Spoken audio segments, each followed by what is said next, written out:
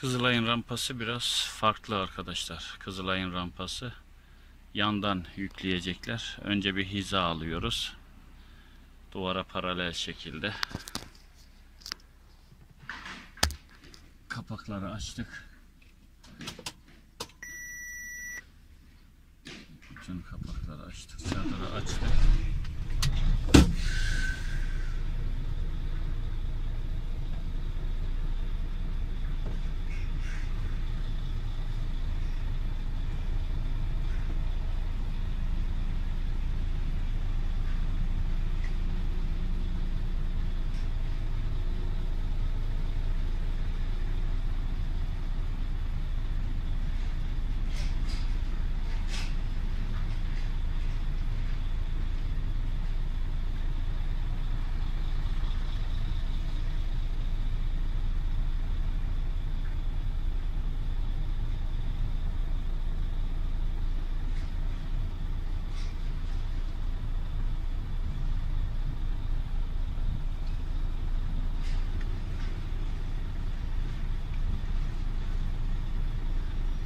Direksiyonu biraz sağ yap bak. Sağ yap, sağ sağ. Tamam, kal öyle. Hayır, toplama işte. Kapının açılsın diye yaptım. Ha, kapı e, şey makaslayınca Tamam. kapağı koparır. Siz olun arkadaşlar. Şu öndeki kapağa dikkat edin. Bakın makaslayınca koparabiliyor. Dikkat edin buna. Evet ön taraf yüklendi arkadaşlar. Perdeyi kaydırdım. Çıtaları çıkardım. Mesela altta şurada eksik gibi gördüm. Bu tür problemlerde başıma bela olmaz deyin kamera çekin. Yok diyor jelatinin yırtılması lazım falan filan. Siz yine de tedbirinizi alın arkadaşlar. ihale üstünüze kalmasın.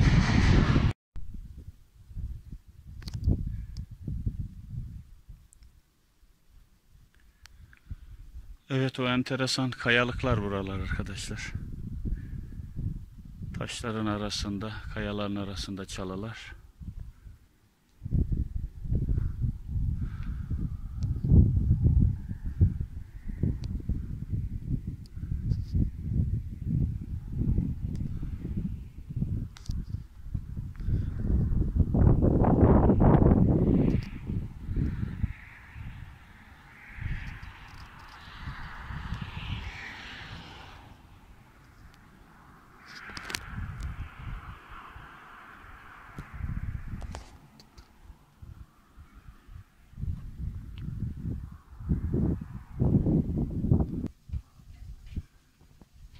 Dümdüz aşağıya Gazlı Göl. Biraz da ileride Afyon. Burası da Kırka, Seyit Gazi, Eskişehir yolu.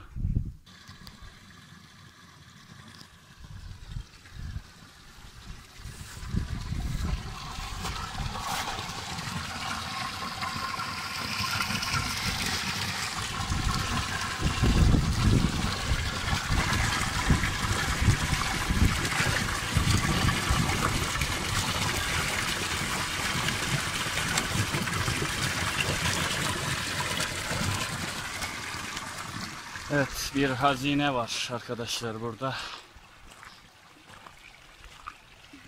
Güzelliği tertemiz pırıl pırıl.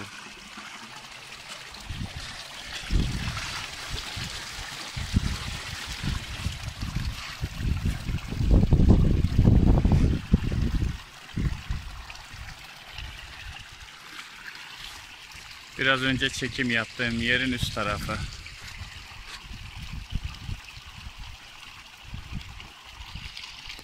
Süper.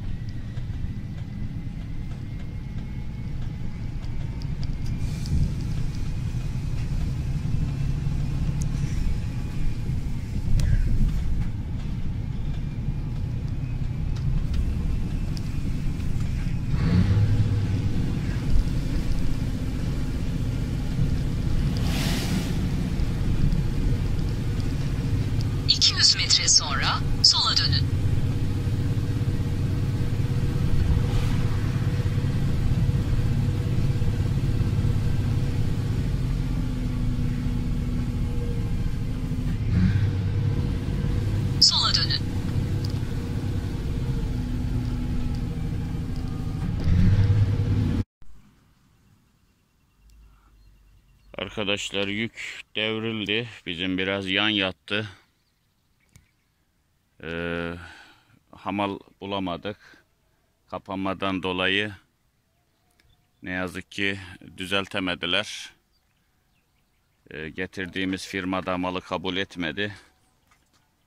Ondan dolayı bu gece buradayız. Cumartesi bugün akşam ezanı okundu tam iftar vakti. Evet ilk gecemiz.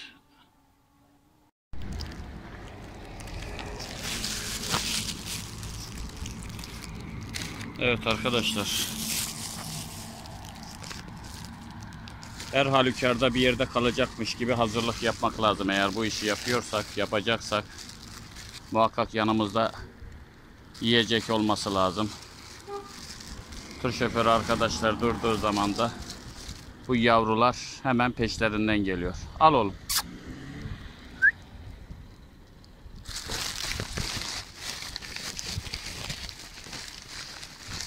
Evden çıkmadan yemek varsa hanım yemek artıklarını biriktirir. Kemikleri falan geçerken dinlenme tesislerinde dökerim. Belki Allah bunların yüzü suyu hürmetine bizleri büyük kazalardan muhafaza buyuruyor.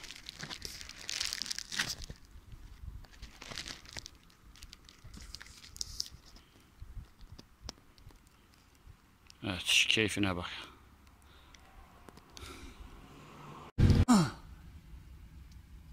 İftarımızı yaptık. Bir çayımızı içeceğim şimdi inşallah. Evet. Hadımköy. Bu taraf Arnavutköy. Şu taraflar Hadımköy tarafları. İç içe biraz karışık bir yer burası.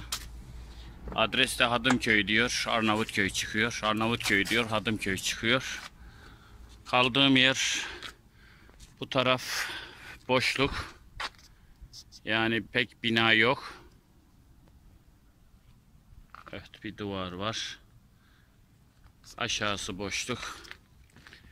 Fakat hani nerede kalınır, nerede park edilir meselesinde bu tarafımda Opet var.